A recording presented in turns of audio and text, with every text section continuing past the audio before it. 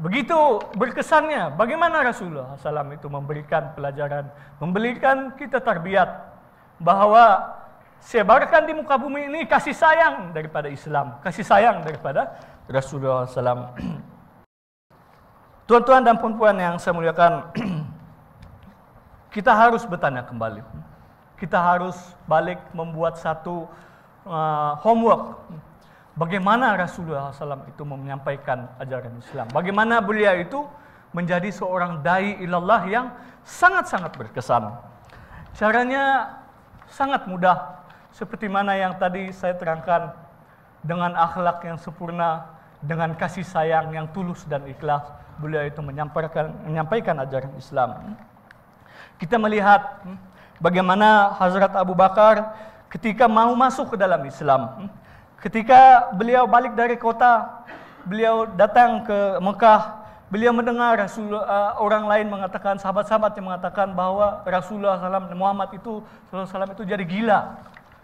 Gila dia mengatakan karena apa nih malaikat datang kepadanya dan memberitahukan uh, kata-kata uh, yang luar biasa. Jadi Hazrat Abu Bakar itu dia tidak uh, begitu uh, tidak repot-repot dia mau apakah benar Muhammad itu mengatakan yang sedemikian. Dia tidak begitu dia. Dia langsung dia terus saja ke tempat Rasulullah SAW dan terus bertanya kepada Rasulullah SAW, wahai Muhammad, apakah benar kamu mengatakan yang sedemikian? Tapi Rasulullah begitu dia melihat Abu Bakar dia sempat uh, rasa teragak-agak. Dia mau menjelaskan supaya tidak ada salah paham.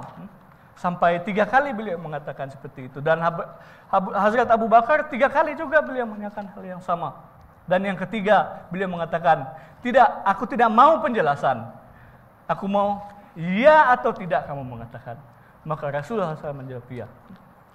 Jadi tuan-tuan dan puan-puan, sangat ajib dalam bahasa Urdu ajib dalam Indonesia aneh di dalam bahasa Melayu Malaysia pelik sekali bagaimana Rasulullah SAW itu menyampaikan satu seruan kepada Allah Subhanahu wa taala itu dengan cara yang sangat-sangat halus yang sampai menikam menusuk kalbu itu.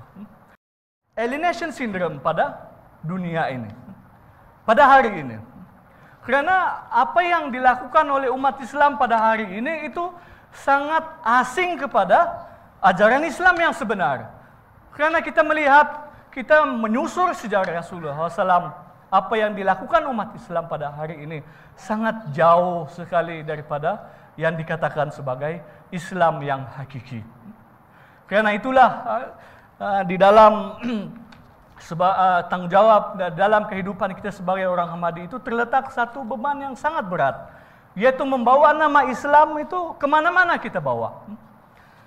Kita duduk, kita jalan, kita senyum, kita ketawa, kita masuk ke dalam tandas itu juga ada ciri-ciri Islamnya yang itu akan orang lihat bahwa inilah Islam yang sebenar itu. Dan itulah tablik yang sebenar.